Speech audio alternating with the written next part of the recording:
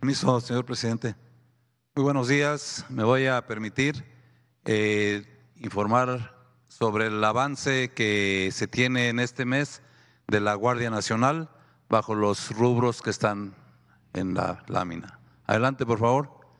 Bueno, la, fuerza operativa de la Guardia Nacional tenemos 96.132, eh, aproximadamente un 85% de ellos están desplegados y el resto pues son eh, el 15% restante es personal que está en apoyo precisamente al personal desplegado.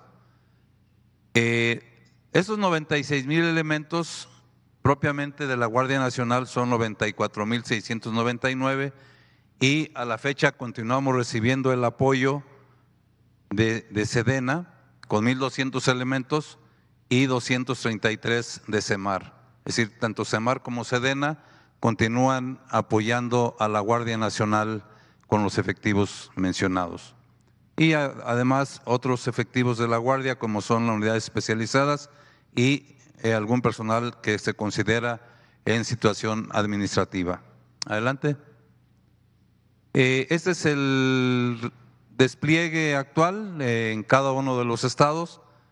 Y aquí solamente llamaría su atención, en la Ciudad de México tenemos 11 mil, pero realmente eh, el efectivo desplegado son 1982, el resto es personal propio de la Guardia Nacional que está en las instalaciones que, se tienen en la Ciudad de México. El Estado de México eh, realmente tiene 9.311, el resto es personal de la Guardia Nacional que está en instalaciones del Estado de México. Llamo la atención también en el Estado de Zacatecas, actualmente hay desplegados 2.000 elementos. Adelante. En cuanto a reclutamiento, eh, la meta para el 2021 pues son los 21 mil, perdón, en el 2020 son 2 mil, perdón, 21 mil 170. De ellos, este es el avance de eh, por parte de Sedena, por parte de Marina.